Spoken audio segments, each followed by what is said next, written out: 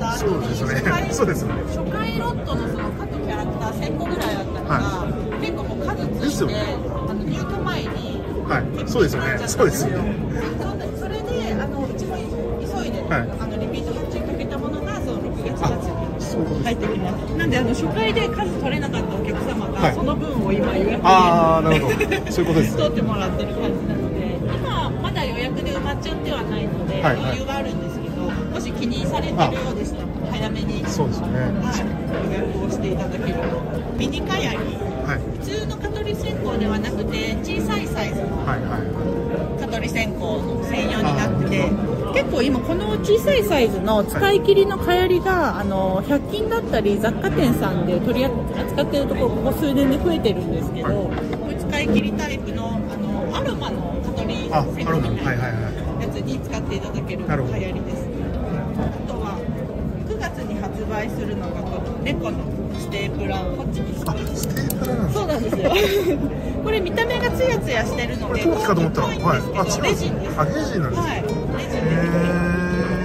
この3種類ですあと同じ同時期にこのソープディッシューはい。石鹸置きですね。を出す予定してましてこれも猫ちゃんの足のここに水切りの穴があるので石鹸の水をここからちょろちょろって、あなるほど。はい、出すような面白いですねこの辺りが新商品になります初お披露目なんですけどこれがくるくる回るんですあの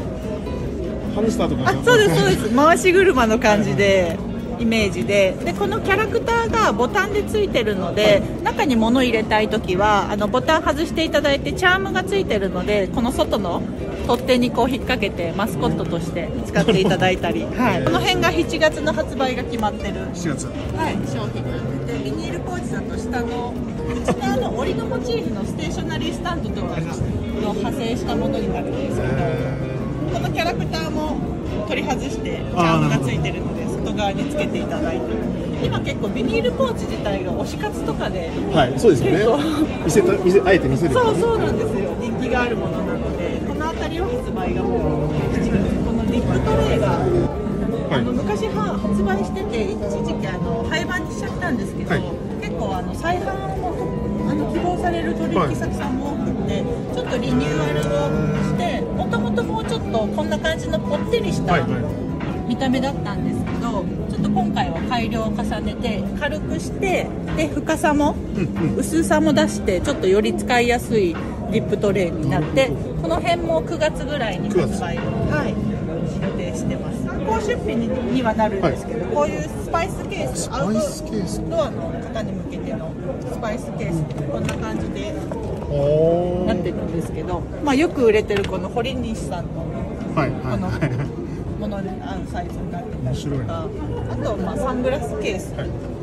こちらも参考出品なんですけどこのゴムバンドがついてるのであの車のサンバイザーのところにつけれるような、はい、形になってます